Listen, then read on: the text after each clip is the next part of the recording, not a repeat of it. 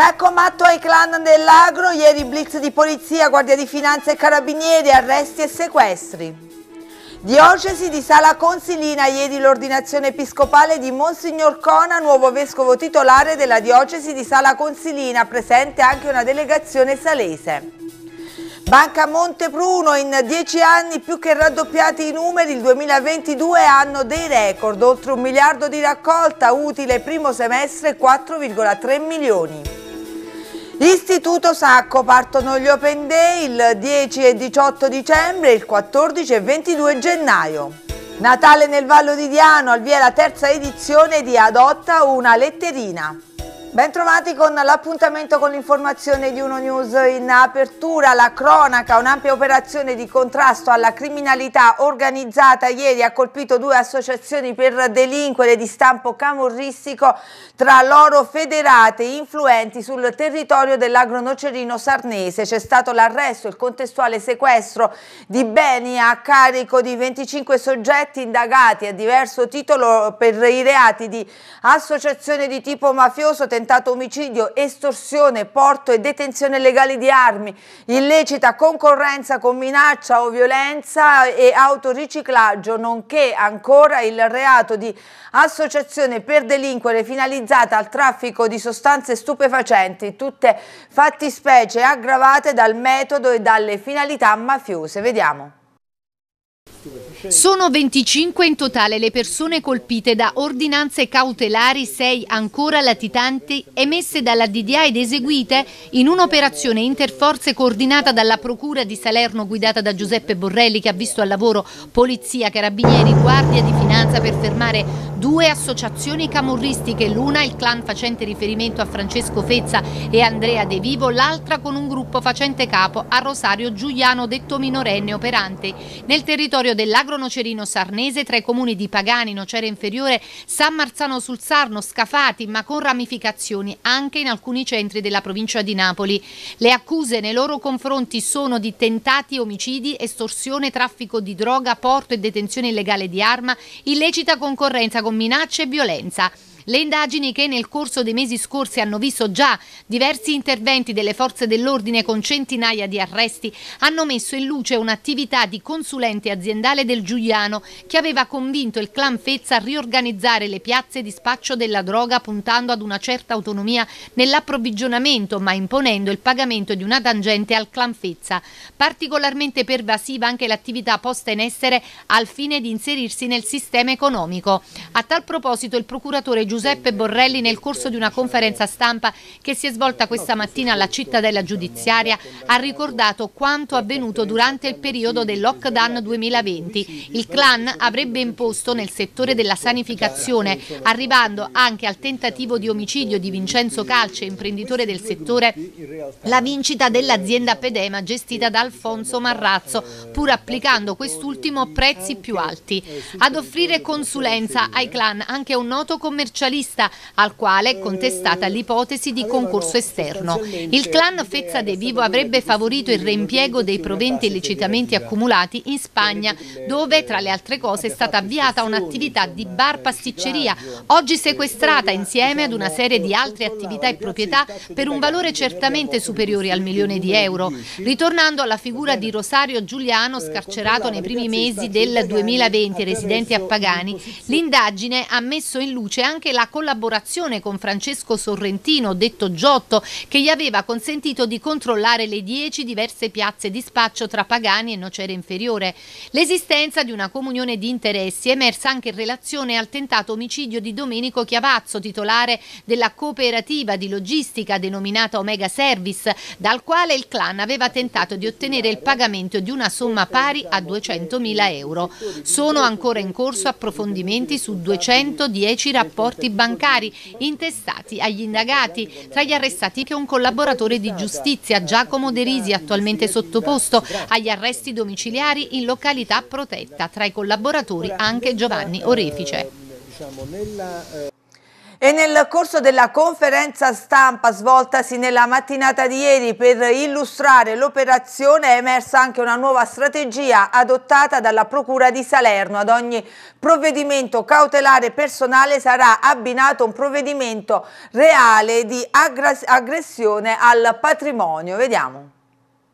Questo patrimoniale può creare un vero documento a queste organizzazioni criminali. Quindi diciamo, la strategia della Procura, diciamo, sotto questa, la nuova direzione del Procuratore Borrelli, è quella che ad ogni provvedimento cautelare personale sarà abbinato un provvedimento cautelare perché, eh, reale. Abbiamo, reale, perché abbiamo verificato che parecchie volte l'inerzia di tutte le istituzioni operanti nel mondo della giustizia hanno consentito l'accumulo di patrimoni inauditi. Faccio riferimento perché sono due provvedimenti già pubblici alle misure di prevenzione, perché non avevamo più una misura giudiziaria applicabile, quindi ci siamo dovuti a forza diciamo, ancorare al uh, procedimento di prevenzione, uno svolto dalla Guardia di Finanza e uno dalla Polizia di Stato con riferimento alle posizioni di Citarella ed Adiletta, dove complessivamente siamo arrivati a sequestrare in via di prevenzione quasi 500 milioni di euro. Questo vuol dire che lo Stato c'è, in quei territori lo Stato, nei nostri territori lo Stato è presente, abbiamo delle sezioni investigative all'altezza di affrontare qualsiasi tipo di indagine e chiudo il mio, il mio uh, intervento con un appello che rivolgo agli imprenditori. Abbiate il coraggio di denunciare. Noi ci siamo, la Procura in prima linea è presente, fate denuncia, denunciate il vostro stato di soggezione all'estorsione. Noi abbiamo valorizzato quanto eh, fatto dalla Polizia di Stato e dall'Arma dei Carabinieri sotto il nostro profilo eh, economico e finanziario, perché siamo convinti, ed è convinto lo Stato, che l'aggressione a queste consorterie passa attraverso il contrasto patrimoniale. E devo dire, eh, è emerso anche un'altra attitudine di queste consorterie criminali, quella di investire e fare riciclaggio dei loro proventi acquisiti su questo territorio all'estero. Forse pensano che non ci riusciamo ad arrivare, ma ci arriviamo. Il sistema paganese si presenta oggi un modello organizzativo che eh, sotto la direzione della Procura vede tre forze di polizia operare congiuntamente e in maniera assolutamente coordinata su un unico versante. È chiaro che la complessità della criminalità organizzata che sicuramente continua a trovare eh, l'humus in quello che purtroppo continua a essere attività di spaccio, abbiamo sentito, abbiamo parlato di 10 piazze di spaccio, poi è oggetto di un rinvestimento, di un inserimento in un'attività economica che va a depauperare il territorio. Ancora a cronaca, incidente questa mattina in via a Polla, si sono scontrate due auto e una di queste a seguito del violetto, violento impatto è finita in una piccola scarpata che costeggia la strada. Il bilancio è di due feriti, un medico e una ragazza. Fortunatamente le loro condizioni non desterebbero comunque preoccupazione. Le indagini che sono in corso diranno qual è stata l'esatta dinamica di quanto accaduto. E cambiamo argomento, la sede titolare della diocesi di Sala Consilina ha il nuovo arcivescovo. Nella giornata di ieri presso la Basilica di San Pietro a Roma è stato ordinato arcivescovo eh, dal cardinale Parolin eh, Monsignor Luigi Roberto Cona, nominato nel corso della celebrazione arcivescovo titolare della diocesi di Sala Consilina. Vediamo. Nel pomeriggio di ieri 2 dicembre una delegazione di Sala Consiline del Vallo di Diano ha partecipato all'ordinazione episcopale di Monsignor Luigi Roberto Cona, nominato da Papa Francesco arcivescovo titolare della diocesi di Sala Consilina. Dal 2018 la sede titolare di Sala Consilina era priva del suo vescovo dopo il decesso dell'arcivescovo Monsignor Gerard Bernacchi, vescovo ausiliario in Polonia. A distanza di quattro anni, quindi, all'estinta diocesi di Sala Consilina è stato stato assegnato un nuovo arcivescovo che per la sua ordinazione episcopale, avvenuta presso la Basilica di San Pietro e presieduta dal segretario di Stato di Sua Santità Cardinale Pietro Parolin, ha voluto accanto a sé anche una delegazione del Vallo di Diano e di Sala Consilina, essendo stato scelto come arcivescovo titolare della diocesi salese. Anche il territorio ha quindi partecipato alla cerimonia con il vescovo della diocesi residenziale di Teggiano Policastro, Monsignor Antonio De Luca, Don Gabriele Petrocelli, parroco della Chiesa della Santissima Trinità, e una delegazione della comunità di Sala Consilina. La diocesi di Sala Consilina è una diocesi estinta, anticamente denominata diocesi marcelliano e consilino. Dal 1968 è stata annoverata tra le sedi vescovili titolari che si differenziano dalle sedi vescovili residenziali in quanto non vi è un governo ecclesiastico su un determinato territorio. Si tratta di sedi di diocesi che in passato avevano ricoperto il ruolo di sedi residenziali, successivamente poi estinte. Sala Consilina un tempo era sede di diocesi residenziale con un vescovo presente e con giurisdizione. Dal 1968, con l'estinzione della diocesi, è diventata sede titolare a cui viene comunque assegnato un vescovo. Si tratta prevalentemente di prelati che esercitano i loro uffici presso la curia romana e che per ricoprire tale incarico sono ordinati vescovi a cui di conseguenza deve essere assegnata una diocesi e in tali casi sono ordinati vescovi titolari di diocesi estinte.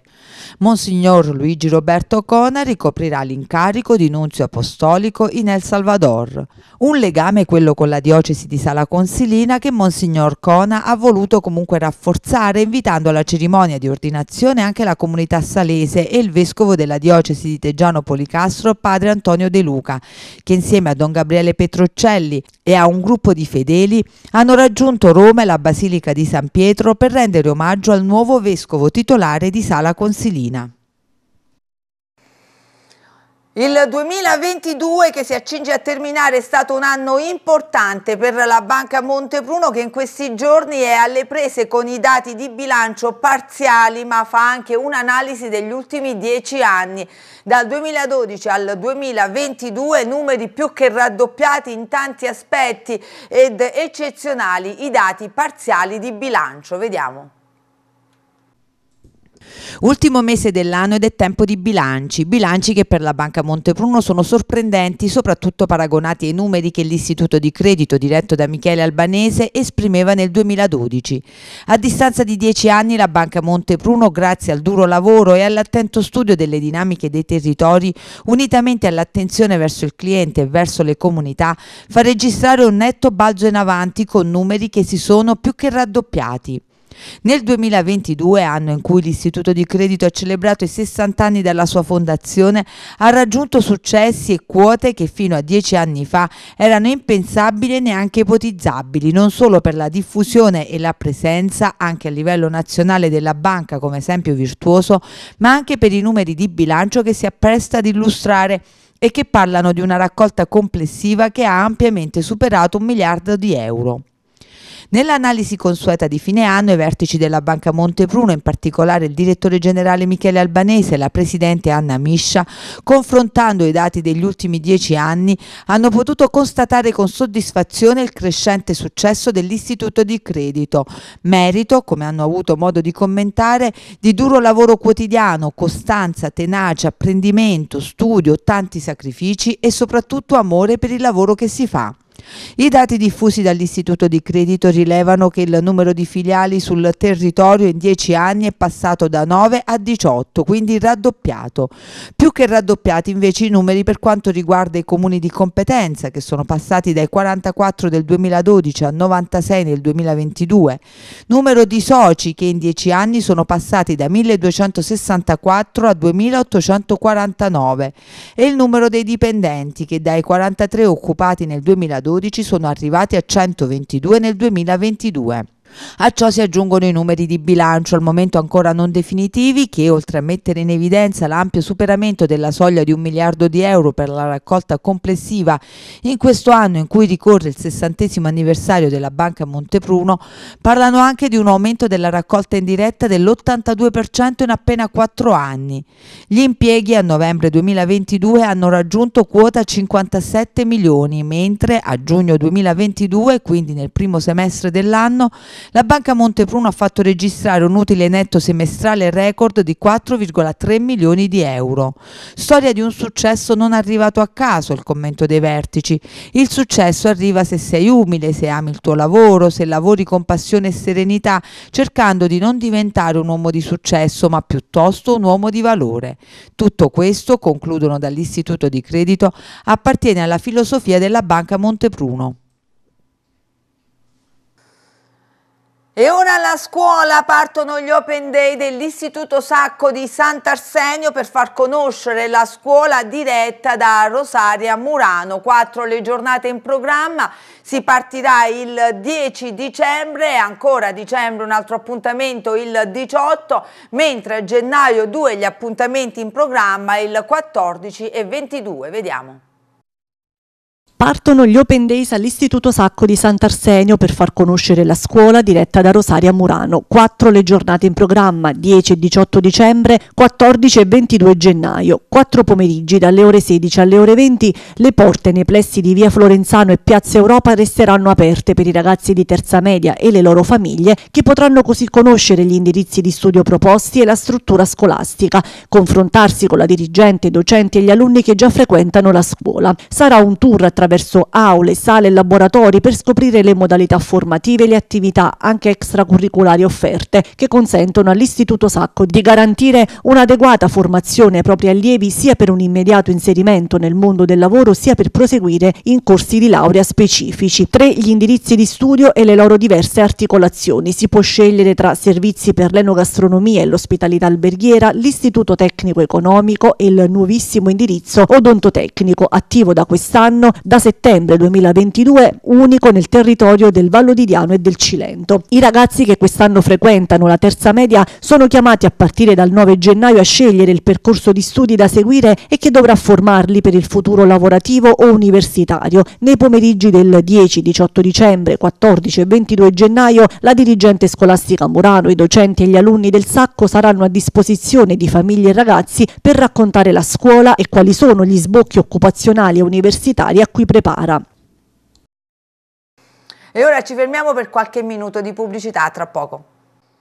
Bentornati con la seconda parte del nostro TG. A Castellabate è stato istituito un ufficio ad hoc per supportare e assistere la cittadinanza nella delicata fase di ricostruzione, messa in sicurezza e ripresa dell'intero territorio comunale dopo l'alluvione che ha colpito l'area il 19 e 22 novembre scorso. Vediamo.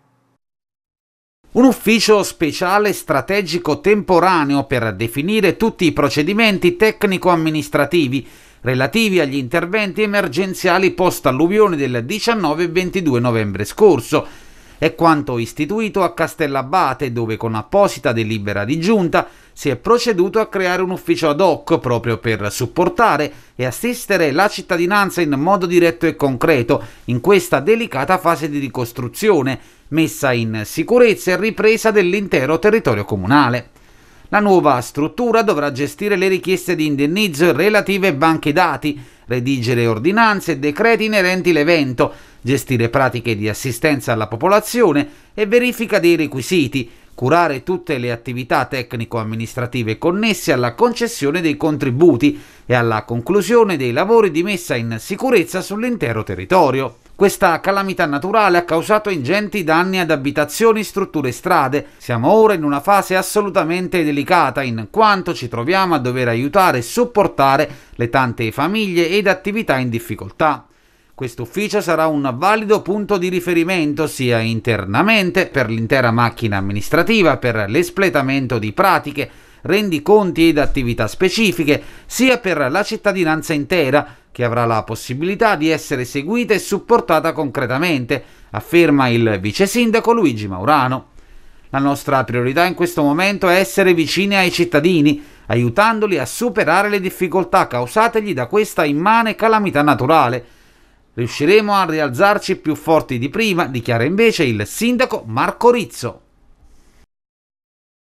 Tra i tanti progetti con cui l'associazione San Filippo Fighters eh, prova a finanziare la ricerca e contemporaneamente sensibilizzare sulla sindrome di San Filippo c'è un, un, progetto che coinvolge le squadre di calcio eh, locali del Vallo di Diano in prima persona i bambini e ragazzi affetti dalla sindrome per dar loro modo di calpestare un campo da calcio e contemporaneamente raccogliere fondi mettendo all'asta la maglia del capitano della squadra. Uno dei match days a Sala Consilina, si terrà domenica 4 dicembre alle ore 15, vede affrontarsi allo stadio comunale Osvaldo Rossi, Pro Sala Football Club e uh, Unione Sportiva Pollese 1923. La sindrome di San Filippo è una malattia rara e neurodegenerativa che colpisce bambini uh, privandoli progressivamente di tutte le capacità acquisite nei primi anni di vita. Nel Vallo di Diano è conosciuta per la storia del piccolo Michele mamma Erika di Sala Consilina. La partita in programma domani alle ore 15 sarà occasione per conoscere la realtà dell'associazione San Filippo Fighters e donare un contributo per la ricerca. Andiamo avanti, restiamo in tema di eh, solidarietà. Nel Vallo di Diano torna un Natale, per Natale adotta una letterina. L'iniziativa dell'associazione Onlus Ascoltami che giunge alla sua terza edizione. Vediamo. Anche quest'anno l'associazione Ascoltami Onlus, che opera nel Vallo di Diano con lo scopo di aiutare bambini e persone speciali, scende in campo per Natale con l'iniziativa Adotta una letterina. Siamo liete di presentarvi il nostro Natale, si legge sulla pagina Facebook dell'associazione, la terza edizione di Adotta una letterina. Grazie al vostro aiuto siamo riusciti ad ottenere numeri importanti. L'anno scorso abbiamo girato il Vallo intero, da Sanza ad Auletta, 180 meravigliosi bambini raggiunti Sosteneteci l'appello diventando il nostro meraviglioso Babbo Natale, siamo certe che i nostri elfi saranno impegnatissimi. E così per il terzo anno consecutivo torna la bella iniziativa che nelle due precedenti edizioni ha registrato molte adesioni permettendo di regalare un sorriso a tanti bambini e alle loro famiglie. È nato tutto in punta di piedi tre anni fa, racconta Giulia Iannuzzi, presidente di Ascoltami Onlus, e poi l'iniziativa è cresciuta. L'anno scorso abbiamo accontentato ben 180 bambini in tutto il Vallo di Diano. Tanti di loro hanno scritto la letterina Babbo Natale e per tanti altri ci è stato suggerito il regalo da portare sotto l'albero. Sapevamo inoltre che c'erano alcune famiglie che stavano vivendo un momento di difficoltà e lì Babbo Natale è stato un po' più generoso, portando anche un sacchetto di spesa. Giulia Iannuzzi ha poi spiegato che lo scorso anno anche alcune scuole del territorio hanno sostenuto l'iniziativa raccogliendo fondi in classe per donare un tablet ai bambini che ne avevano fatto richiesta. La richiesta che facciamo al Babbo Natale che aderisce all'iniziativa, spiega Giulia, è proprio quella di adottare una letterina e quindi di comprare il regalino desiderato. Noi mamme dell'associazione poi ci occupiamo di fare la consegna è un'iniziativa bellissima, conclude, perché mette in collaborazione persone e associazioni con il solo obiettivo di far felici questi bambini. A Sala Consilina prenderanno il via domani 4 dicembre il, gli appuntamenti in programma per questo Natale 2022. Uh, eh, gli appuntamenti sono il cartellone di appuntamenti è stato programmato in sinergia dall'amministrazione comunale e dalle associazioni locali con il supporto della Camera di Commercio di Salerno e di Confesercenti. Vediamo. Sarà Babbo Natale ad aprire il ricco cartellone di appuntamenti natalizi promossi a Sala Consilina dall'amministrazione comunale e dalle associazioni locali che in sinergia e con spirito collaborativo hanno dato vita ad una serie di appuntamenti tra divertimento, tradizione, cultura, sport e spettacolo. Il ricco programma che si concluderà il 5 gennaio è stato organizzato grazie anche al supporto della Camera di Commercio di Salerno e di Confesercenti che hanno sostenuto l'iniziativa. Un mese intenso di attività attività nel centro salese che si aprirà domani 4 dicembre per concludersi a gennaio e che ha visto la collaborazione attiva delle associazioni, ciascuna delle quali si occuperà dell'organizzazione di un evento. Ad aderire all'invito dell'amministrazione comunale salese sono stati Io Centro Assocom, Associazione Allegra Core, Associazione Amici del Presepe, Associazione Ragazzi di San Rocco, Federica Capo Eventi, Forum dei Giovani di Sala Consilina, ASD Ludanze, Parrocchia di Sant'Anna, ASD Polisportiva Basket Sala Consina 1978, Associazione Arte e Mestieri Diego Gatta. Si partirà subito alla grande con l'arrivo presso l'aula magna delle scuole primarie di Sala Consilina di Babbo Natale con la fabbrica di Santa Claus nell'evento proposto da Federica Capo a Eventi.